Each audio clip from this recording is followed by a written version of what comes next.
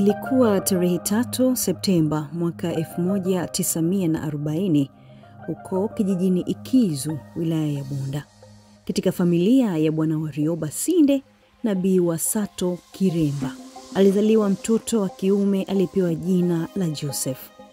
Mtoto huyu alikuwa katika familia ya kimasikini sana, lakini alipenda sana shule, pasikuwa na mfano wa shule yoyote kijijini kwake isipokuwa Bush School, elimu ya kusoma na kuandika aliyopewa chini ya mti.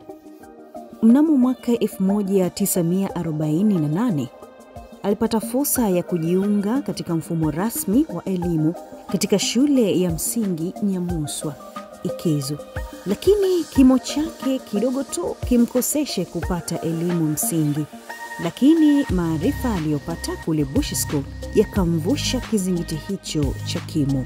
Mwaka 1953 akajiunga na shule ya kati ya Mwisenge. Hapo napo ada ya shilingi 60 tu kwa mwaka ikawa mtihani mkubwa kwa Bwana Warioba Sinde. Basi akaamua kuchangisha ukoo wa Sinde, lakini bado akaambulia shilingi 27 tu. Mwanzo wa safari ya elimu ya kijana Joseph haikuwa rahisi, lakini penye nia pana njia. Alianza kupata ahueni ya maisha alipojiunga na shule ya sekondari Tabora mwaka 1961 na kwa mara ya kwanza akakutana na kitanda, ingawa godoro lake na gunia Ilipofika mwaka 1963 kijana Josefu akatia mguu katika chuo kikuu cha Afrika Mashariki ambacho kwa sasa ni chuo kikuu cha Dar es Salaam akisomea fani ya sheria.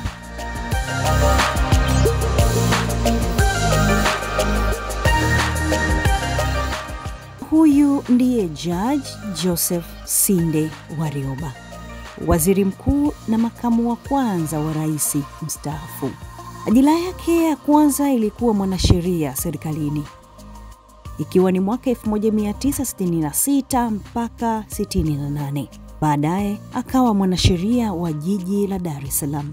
Jaji Joseph Sinde Warioba aliendelea kukua na kupanda vyeo katika taaluma yake ya sheria mpaka mwaka 1976 alipoteuliwa kuwa mwanasheria mkuu wa serikali, lakini ilipofika mwaka 1983 aliteuliwa kuwa mbunge na waziri wa sheria, hivyo akavaa kofia mbili, mwanasheria mkuu wa serikali na waziri wa sheria.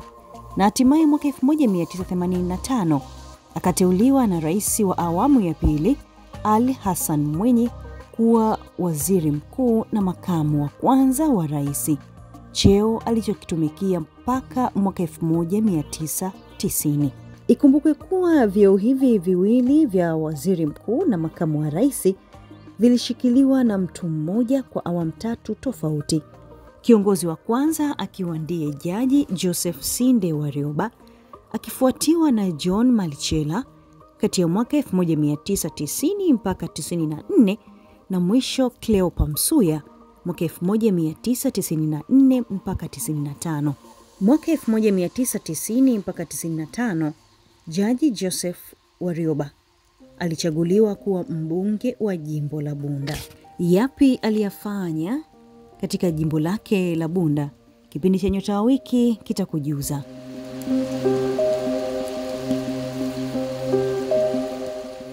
Mwaka 1996 mpaka 99, Jaji Joseph Warioba alikuwa ni jaji katika mahakama ya kimataifa inayoshughulikia sheria ya bandari Hamburg nchini Ujerumani, na baadaye mwaka 2001 mpaka 2006 alikuwa jaji wa mahakama ya haki ya Afrika Mashariki.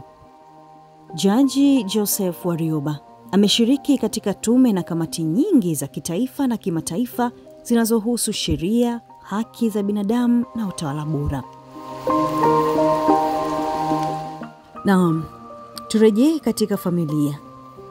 Mnamo mwaka 1969 Judge Joseph Warioba alifunga ndoa na Bi Evelyn Gabriel Mushi. Maisha ya ndoa yalikuwaje kwa vijana hawa waliokulia maeneo tofauti? Joseph akizaliwa na kukulia kijijini Kizu Bunda, huku Bi Evelyn akizaliwa na kukulia Kariakoo jijini Dar es Salaam. Yapo mengi usiyoyajua kuhusu familia ya Jaji Joseph Warioba na mkewe Evelyn Warioba. Karibu sasa ni kujuze. Mama, nashukuru sana kwa mapokezi mazuri. Karibu. Umenipitisha kwenye bustani yako nzuri. Swali langu, imekuchukua muda gani kutengeneza bustani nzuri namna hii? Eh, Nadhani hapo ndio kuna pashwa kunapashwa kuwa na, na, na, na kuwa mo, wanasema kujiongeza, kuweka kila kitu katika kumbukumbu e, kwa muda kwamba ni miaka miwili miaka mitatu, hapana, lakini niseme nikirudi nyuma sana, labda miaka kumi, nikianza kidogo kidogo kidogo kidogo, na kila siku bado naiendeleza. Nitakuja nipate somo. Kama imekuchukua miaka kumi kufika hapa, niweze kulipata somo. Kikubwa ambacho pia nimekifurahi ni kukutana na wewe, ni Evelyn Warioba, mke wa aliyekuwa waziri mkuu na makamu wa rais mwaka elfu moja mia tisa makamu wa kwanza wanasema unaweka weke nani sawa, yani hesabu zikae sawa sawa. Makamu wa kwanza wa rais. Nataka nifahamu ulipokeaje uteuzi ule kwamba mumeo sasa ni waziri mkuu, hapo hapo ni makamu wa kwanza wa rais. Kwanza sicho kitu ambacho kilikuwa kwenye mawazo yangu au mawazo yake, lakini alipopata hiyo taarifa, yeye alikaa nayo siku tatu Bila kukwambia wewe. bila kunambia, akakonsult, sio kukonsult, lakini akawashirikisha best friends wake, akawaambia. Baada ya kuwaambia hao na wao kumpa ushauri waliompa, ndio akaja akaniambia. Kwa kweli reaction yangu ya kwanza nililia. Sasa ukiniuliza nililia nini, kwa nini nilikuwa nalia, hata sijui. Kulikuwa na uoga ndani, sikuelewa maana yake ni nini, lakini nililia. Baadaye kaona tu kawaida. Sasa kwa kuwa sikuwa na na wanasema, kwa mfano, labda ungekuwa na mwingine ambaye alishawahi kuwa unajifunza kutoka kwake e, na hata kama angalikuwapo utaratibu wetu wa maisha, si kwamba kitu unachokwenda kusomea kwamba una, unasubiria na mimi ikija zamu yangu itakuwa hivi. Kwa hiyo aliyetutangulia alikuwa marehemu Mama Amne Salim, na huko nyuma alikuwa marehemu Mama Msuya e, na lakini si watu ambao tulikuwa tuna tunaingiliana katika maisha yetu ya kawaida kiasi kwamba namuuliza eh, hivi ukiwa mke wa waziri mkuu inakuwaje? Hapana. Kwa hiyo ilikuwa kidogo shock, lakini mi niliendelea na maisha yangu kama kawaida. Kwa hiyo iliwapa shida wale ambao waliokuwa wanatu wanatoa huduma kijumla, kwa sababu kwa mfano mimi nilikuwa mfanyakazi na sikuona mie sababu ya kuacha kazi. Mi niliendelea tu na kazi. Ulifanya kazi gani? Mi niliajiriwa wakati huo, wakati mwenzangu akiwa em, akiteuliwa, mi nilikuwa na shirika la Umoja wa Mataifa linaloshughulikia wakimbizi baada ya kufanya serikalini miaka tisa. Nilifanya serikalini miaka tisa, idara ya ustawi wa jamii, and then nikaingia UN. Sasa mi sikuona kwamba kuna na hakuna aliyeniuliza wala wala hata yeye mwenzangu wala hajaniuliza. Mnatoka asubuhi wote mnaenda kazini. Kitu kimoja tu nilikiona kilini kilinipa shock kidogo, niliponyang'anywa gari. mm-hmm. Mimi kwenye kikazi kulikuwa na project na ile project nilipewa Land Cruiser. Sasa jioni dereva na mrelease narudi nayo mwenyewe. Basi nilikuja nikasikia tu mtu anachukua ufunguo, mama, asante. Sasa hiyo ilikuwa ni shock ya kwanza, ndio niliona hapo wanaanza ku, ku, kuweka break. Ah, unaendelea kuongea, namwona baba naye anasogea. Sasa baba, tumkaribishe baba ili maongezi yetu yaendelee kuwa ma, mazuri zaidi.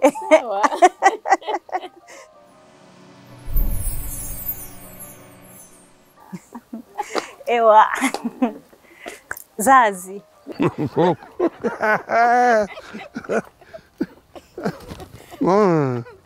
Ah, una- umetafuta kiikizi umekipata? nimekipata, mama kanifundisha kaambia niseme zazi bila shaka ni, lakini ni matamshi ni sahihi. Si sawa, Si ikawa nimechanganya, nimesema zazi ya Kiingereza ya Kiswahili cha pwani. unasema babu Ah, afu una- na mimi naitikia mjukuu ambao unasemaje? eh? Kuku. koko Ah. Karibu baba. Asante sana. Anza kuongea na mama, akatupokea vizuri, akanipitisha kwenye bustani nzuri ame- umeangalia huku eh. Ukiona bustani unaona ua lako linapendeza. Mhm. Tulianza kuongea kidogo na mama hasa kwenye kwamba nafasi yako kubwa ambayo uliipata ya waziri mkuu pamoja na makamu wa kwanza wa rais. Akasema uliopata hiyo taarifa ulikaa siku tatu kabla hujamtaarifu. Tunaomba tujue sababu. Sababu, Sababu kulikuwa na wakati eh, mwaka themanini na tatu wakati huo tunashughulikia mabadiliko ya katiba. Mi nilikuwa Dodoma, kulikuwa na kamati ambayo ilikuwa inakusanya maoni ya wananchi. Nikiwa huko, tukapigiwa simu, tukapigiwa simu nyumbani kutoka Umoja wa Mataifa, akawaambia kwamba sipo Dar es Salaam. Kwa hiyo wakamwomba anipe namba zao niwapigie kwa sababu kuna jambo muhimu. Akanipa hizo namba, akanipigia. Simu nini Dodoma, akanipa hizo namba, nikampigia huyu aliyekuwa amepiga simu, akaniambia "Ah, tunakutafuta, unatakiwa uwe hapa kwa sababu katibu mkuu wa Umoja wa Mataifa amekuteua kuwa naibu katibu mkuu e, wakati ule hawakuwa na naibu katibu mkuu wa sasa hivi, ilikuwa naita under secretary general eh, kuhusu mambo ya bahari, na unatakiwa uripoti mapema. Basi mi nikamwambia mimi ni waziri katika serikali yetu hapa, hamwezi kuniambia tu natoka kuja Umoja wa Mataifa napata kazi bila kupitia utaratibu unaojulikana. Mungewasiliana na serikali kwanza. Kwa hiyo akawasiliana na serikali. Hasa utaratibu wa serikali kutoka upate ruhusa ya rais. Kwa hiyo swala likapelekwa kwa rais. Rais akaamua kwamba hapana, nahitajika hapa, nisiende huko. Kwa hiyo ile kazi niliyokuwa nimepewa ikayeyuka, na ilipoyeyuka, matumaini yetu wote yakawa shaken kidogo, na hasa mama Alikuwa anaona bingo. e, kwa sababu tuliona tumepata nafasi nzuri, na wakati huu unajua, ndio ulikuwa wakati wa matatizo, hali ya uchumi, lakini kwa manufaa ya nchi kabaki. Sasa ilipofika mwaka themanini na tano tumemaliza uchaguzi, Rais Mwinyi ananiita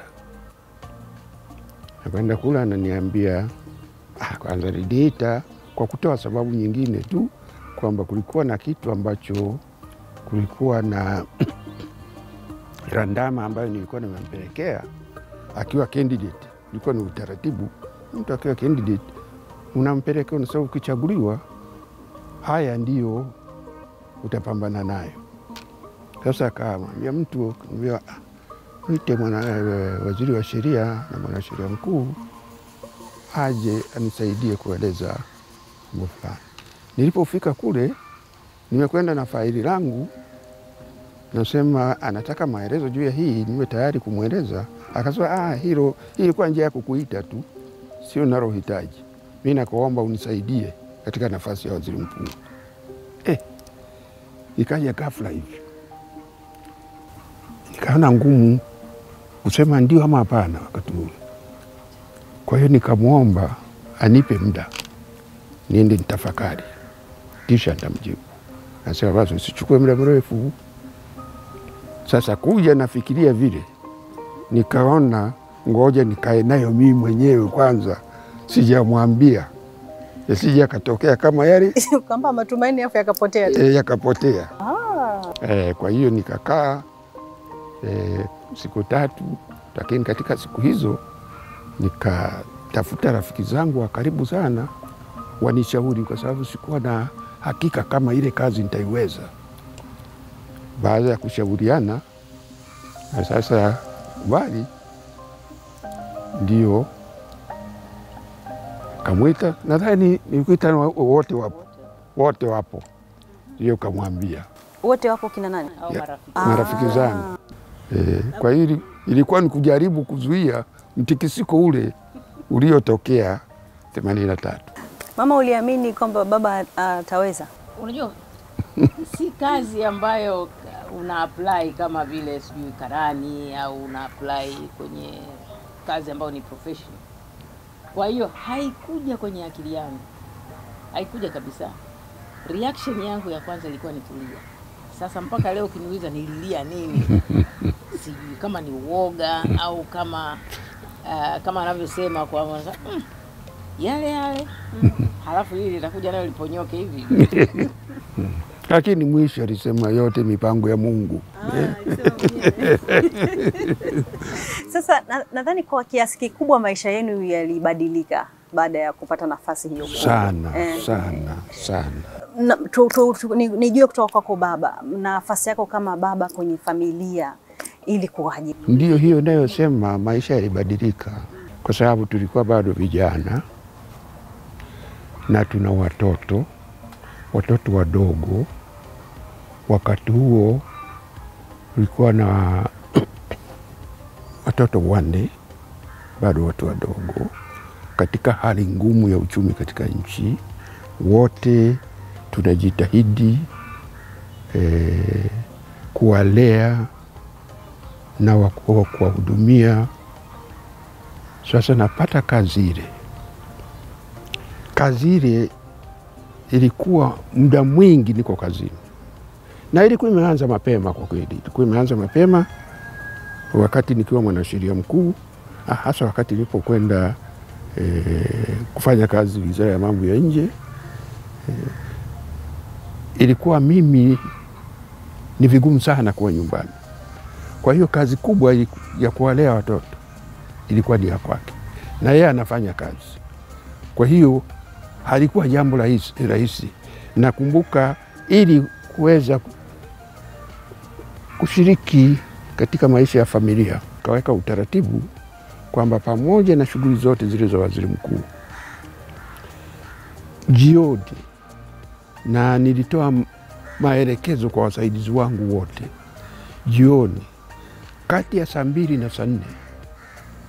Sitaki simu yoyote ama mtu kuja pale, at least nipate muda mfupi tu wa saa mbili kukaa na familia. Eh, lakini haikuwa rahisi. Tulijitahidi na utaratibu wetu aliouweka, kwa sababu tulipoanza hata katika kuwalea tulisema kama ni shule wanakwenda shule za kawaida hizi e, yeye walivyowalea shughuli za nyumbani wote wanafanya wajifunze, hata kama ni za jikoni. E, najua sisi tunakotoka huko, kijana wa kiume haingii jikoni, hahusiki na mambo haya, lakini tukaona tumeingia katika dunia mpya. Yeye akawa anawalea, anawafundisha hata mambo ya jikoni, kuosha vyombo, kufanya hivi, jifunze unaletewa chakula, we unakula, mtu amesimama nyuma yako. Tulikuwa hatukuzoea hiyo, tuishi maisha ya kawaida. tukawambia na msiende kuwa sijui mnawatandikia ama mnawafulia watafanya wenyewe, lakini nadhani hatukusaksidi sana hiyo eh? Ilishindikanaje? baba? Mtoto mwingine, mtoto wetu wa mwisho alizaliwa tukiwa pale, Eh, kwa hiyo then utaratibu mm. Akakutana na utaratibu mpya. Kwa huyo ndo na wale wako kwanza sasa wanakwenda sekondari. Aha. Kwa hiyo alilelewa kidogo kidogo kimayai mayai. eh, kuwa na mtu dada ambaye alikuwa wa karibu zaidi. Yeah. eh, kwa hiyo eh. tofauti. Hata nadhani walipokuwa wanasoma shule kwamba tunayo magari sasa ya serikali, nadhani walikuwa hawapelekwi na magari ya serikali. E, waende hivyo. E, nadha, Eh, tulikuwa na mmoja kwa mfano kipi alikuwa anasoma ushindi. uh-huh. Sasa katika neighborhood kulikuwa na mwalimu anayefundisha kule, sema utaratibu unaotumia mwalimu na wewe huo, -huh. kama kukimbia kimbia, Kimbia kama kupanda basi panda basi. eh. Kulikuwa na mipapai pale kwamba akiomba fedha mama anamwonyesha mapapai yale Akachume akauze. Ah, mama akawa mkali sana. Sasa ma, m, watoto wenu um, walivyokuwa inaonyesha mliwalelea kwenye yani ile malezi ya Kitanzania kweli kweli ya Kiafrika, wajitegemee wenyewe. Walivyokuja kuwa kile ambacho mlikipanda ndani yao waliendelea kuwa nacho mpaka leo. Ni wazazi ambao mnaona fahari juu ya watoto wenu mama. Mimi naamini wameendelea kuwa na sasa hivi, hata kama kungekuwa na kundi, ungemtafuta mtoto wa waziri mkuu mstaafu na utamtafuta sana, labda wamtaje jina. Tuongelee uh, kwamba ndoa yenu na miaka zaidi ya hamsini. Maana sasa hivi ndoa ni kasumba, watu mwaka mmoja miwili, yani kwanza wakifikisha mwaka mmoja wa ndoa sherehe kubwa inafanyika, kwamba ni ushindi mkubwa kufikisha mwaka mmoja. Tunapenda kujifunza kutoka kwenu msingi ambao mlikuwa nao wa kuweza kuwafanya tangu ujana mpaka mnazeeka pamoja.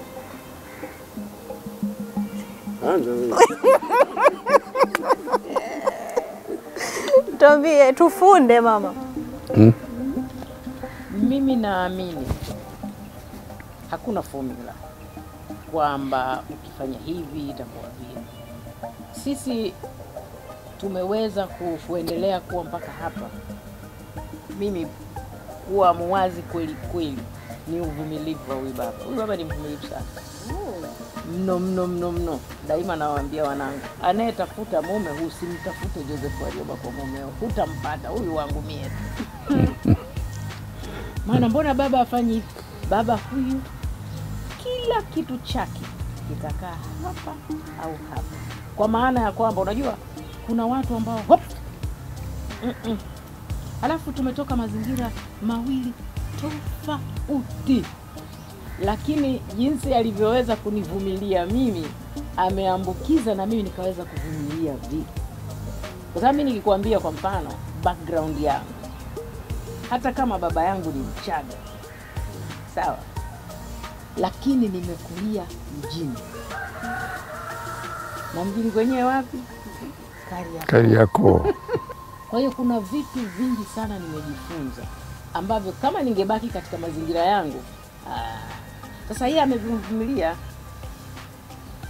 mwanamke ah, ah, wala wewe ukianza kupiga kelele, chukua kitabu chake anasoma. Sasa unajiuliza hivi napiga kelele ya nini? Kwa hiyo over time hivi vitu unajifunza. Hivi mi nikikwambia leo baada ya miaka hamsini na hamsini na tatu hamsini na tatu wangu hata siku moja hajaniuliza hivi ulikuwa unapata mshahara kiasi gani? Hata siku moja, hata siku moja. Aliamini kwamba hela hiyo inatumika kwenye hizi shughuli, inafanya hivi, inafanya. Mpaka leo ajui. Ah, kama anavyosema haya anayosema, tulitoka mazingira tofauti. E, mimi natoka mazingira ya kijijini, na hata sisi kuja kuoana tulipita katika corrugation hii na ile kutoka kwa wazazi. Wazazi wangu hawakuamini kwamba mimi ninge, waliamini kwamba ikifika wakati nitapata mke kutoka kabila langu. Sasa nakuja kuwaambia huyu anaona lo Mchaga wa Kariakoo.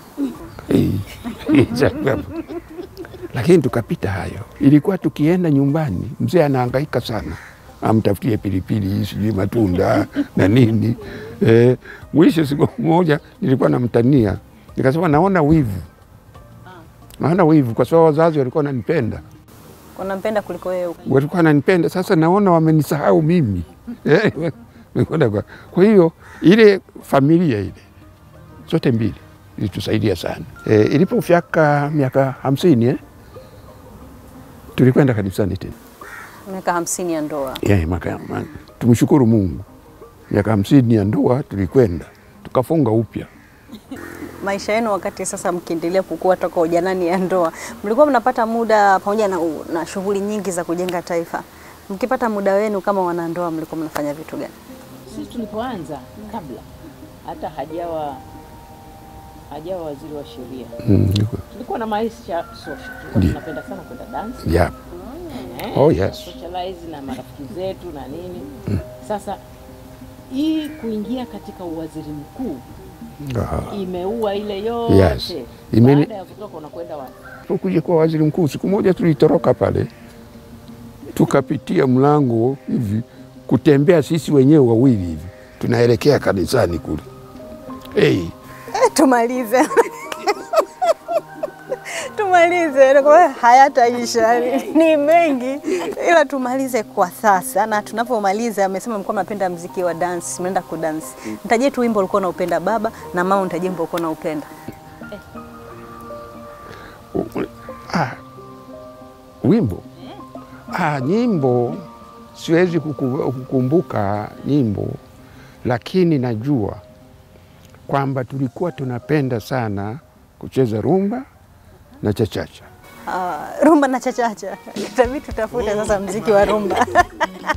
Tuweke. Napenda sana ile.